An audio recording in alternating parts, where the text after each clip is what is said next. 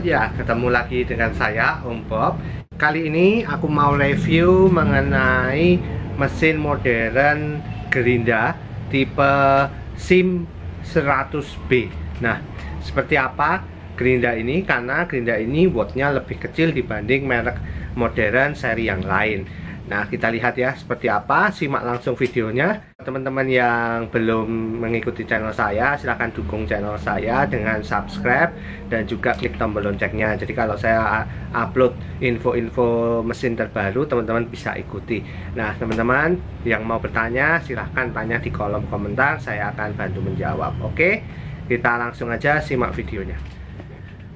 Oke teman-teman. Di depan saya sudah ada modern SIM 100B ya ini adalah mesin gerinda modern. Kita lihat speknya teman-teman. Nah teman-teman diameter pisaunya itu 10 mili pelindung pisaunya 75 mili listriknya 220 volt frekuensinya 50 sampai 60 kemudian kecepatan tanpa bebannya ini 11.000 rpm ya kalau yang modern lain biasanya 12.000 yang ini 11.000 ya kenapa dayanya 400 watt ya. Jadi ini unggul di daya. Dayanya cuma 400 kalau yang modern seri seperti 2360 itu biasanya sekitar 500 wattan 540-an ya. Nah ini lebih hemat. Jadi listriknya lebih hemat ya. Nah seperti apa dalamnya teman-teman? Kita lihat ya. Oke. Seperti apa dalamnya dari modern M?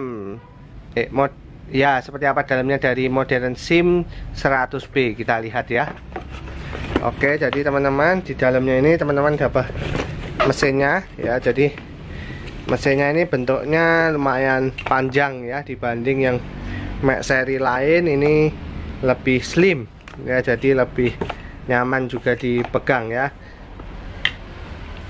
Ya kemudian kita dapat kita dapat pegangannya ya. Jadi ini bisa teman-teman pasang ya jadi bisa untuk menggerindanya ada pegangannya ya.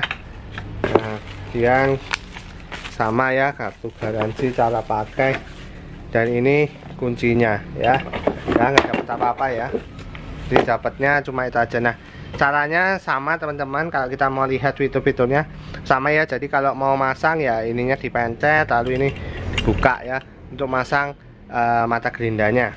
Nah kemudian yang membedakan ini memang sini teman-teman.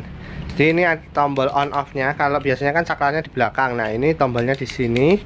Itu kalau teman-teman pengerjaannya lama itu bisa dikunci. Ya jadi di pencet neng dia akan nyala kemudian kita kunci. Ya dipencet. Jadi ini udah kunci ya. Jadi dia akan kerja terus. Nanti kalau sudah selesai pakai ya pencet lagi aja. Dipencet ininya lagi udah dia mati ya. Oke kita dengerin ya suaranya kalau yang lain sama sih ya. Cuman dia emang lebih slim.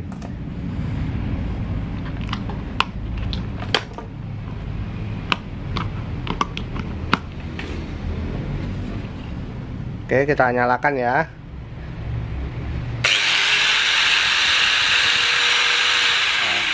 Nah, ya. Nah ini mode kalau saya kunci teman-teman bisa lihat. Dia akan terus kerja ya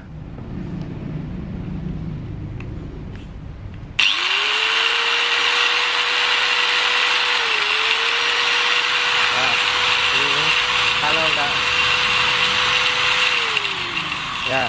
Jadi kalau kita kunci dia bisa terus jalan ya.